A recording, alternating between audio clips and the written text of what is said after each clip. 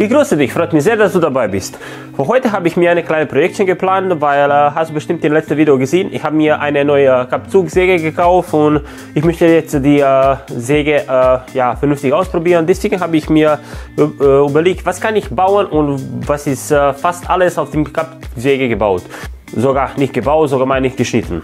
Deswegen habe ich mir in der Werkstatt eine schöne Multiplex-Platte gefunden und äh, die würde ich jetzt nutzen, um äh, eine äh, Stifthalter zu bauen und sogar nicht eine Stifthalter. Ja, ich möchte mir äh, mehrere, ja, gucken mir, was schaffe ich von die Platte, weil ja, das ist äh, bei mir Mängelware, die Stifte und die liegt immer irgendwo in die Haus, deswegen jetzt kriege ich seinen Platz.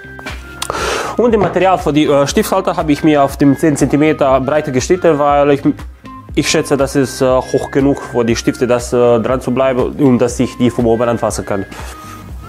Und weil ich jetzt schneide das äh, mit der Gärung, ich stelle die Platte weg, nicht dass die mir im Weg steht und mir sofort die Neigung nachjustieren. Und für die Neigung habe ich mir entschieden 22,5 Grad und wir gucken, ob das jetzt die Größe und die Maße passt. Aber bevor ich überhaupt was auf dem äh, Kappsäge schneide, wäre es sinnvoll, jetzt einmal äh, die beiden Seiten mit dem Exzenterschleifer abschleifen, weil äh, wenn ich das zusammengeklebt in eine äh, Halter, das kommt man schlecht ran, ganz, ganz schlecht ran.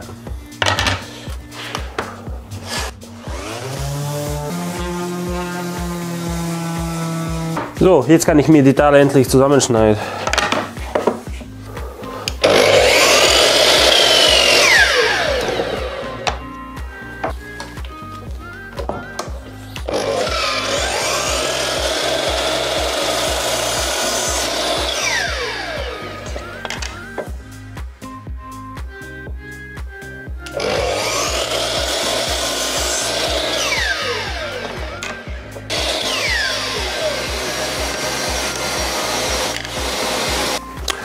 Und weil ich möchte, dass äh, meine äh, Stifthalter hat auch einen Boden. Hier habe ich mir ein paar zusammengeklebt, äh, nur so mit Kreppern, dass ich die Maß habe.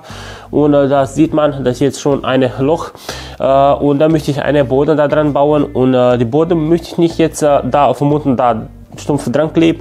Ich möchte mir hm, besser die Boden äh, da drin einen Schlitz machen und da einbauen und äh, weil äh, deswegen brauche ich die für die Schablone.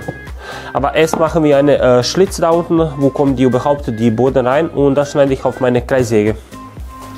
Und hier habe ich mir schon alles vorbereitet. Ich schneide mir jetzt äh, ca. 5 mm vom Boden und äh, 5 mm in die Tiefe.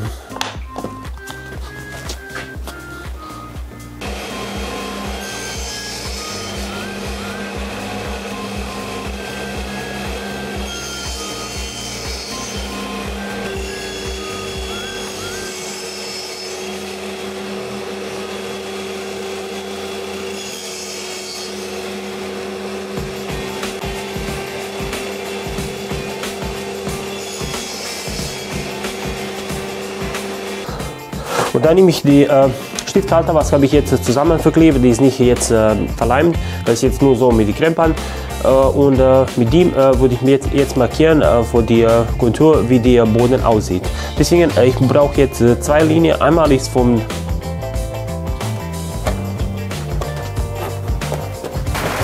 und die zweite ist natürlich von innen.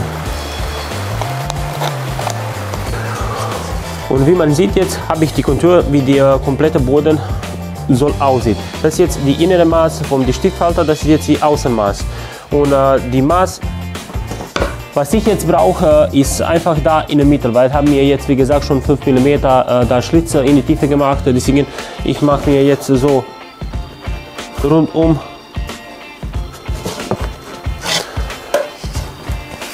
Linie und dann schneide ich da in der Mitte. Und dann ist Boden von dem äh, Stifthalter geschnitten, die soll so aussehen. Ich habe nur zwischenzeitlich jetzt die Außenecke immer ein bisschen so abgerundet, abgeschliffen, dass die mir in die Halter da besser da in die Schlitz reinkommen. Und dann kann ich mir die äh, Stifthalter jetzt äh, zusammenkleben, wie auch immer. Äh, die Gärung drehe ich nach unten. Natürlich die Schlitze vor dem Boden immer auf die gleiche Seite. Eine Seite bündig, stramm zusammendrücken. Dann einmal mit dem Kreppband zusammenkleben.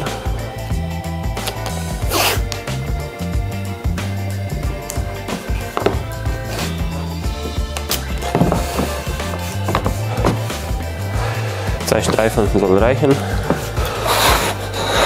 Dann einmal schauen, wie das alles zusammen geht. Einfach die Boden eine Seite in die Schlitz einstecken und die Halter zusammenkanten.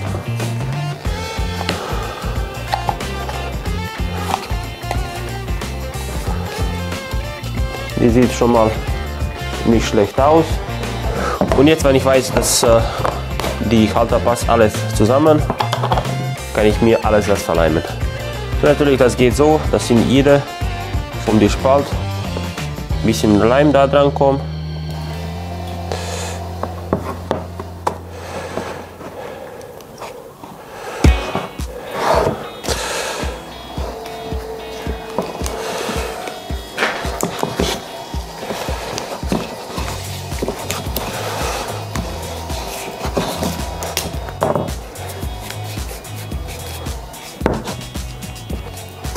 Das war jetzt äh, die erste. Äh, ich lasse die austrocknen und ich nehme jetzt mir Zeit und äh, die klebe ich noch die vier Stück zusammen. Die habe ich auch so mit die Kreppband von hinten festgemacht. Jetzt kommt Leim und die lasse ich alles schon zusammen trocknen lassen.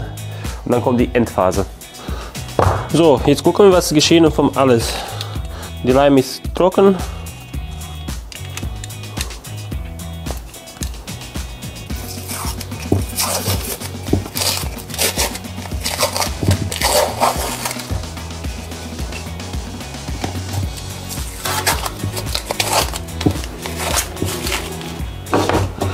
Und die sieht schon mal nicht schlecht aus. Äh, nur gehe ich jetzt einmal drüber die Schleifpapier, dass ich jetzt Boden komplett äh, bündig habe. Und einmal vom oben, dann gehe ich mit äh, 120er Schleifpapier, dass alles schon glatt ist. Und dann kommt Öl drauf.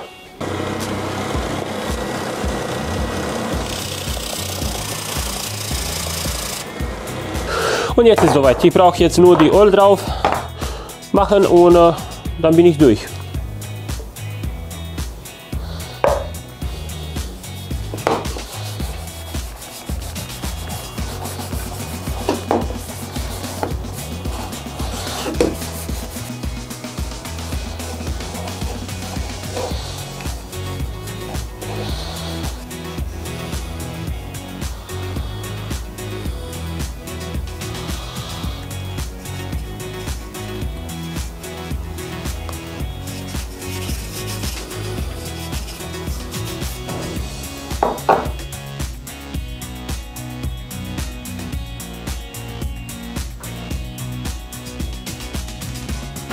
Und das war's, liebe Freunde. Das war die erste Projekt, was habe ich gemacht mit meiner neuen Kappzugsäge von Makita. Und äh, mit dem Endergebnis äh, von der Arbeit bin ich sehr begeistert, weil jede Gärung passt 99%, ist nicht hundertprozentig, das ist klar, aber ich bin sehr, sehr zufrieden, weil sowas äh, konnte ich mit meiner alten Säge nicht anfangen, weil musste ich nicht versuchen, sowas zu machen.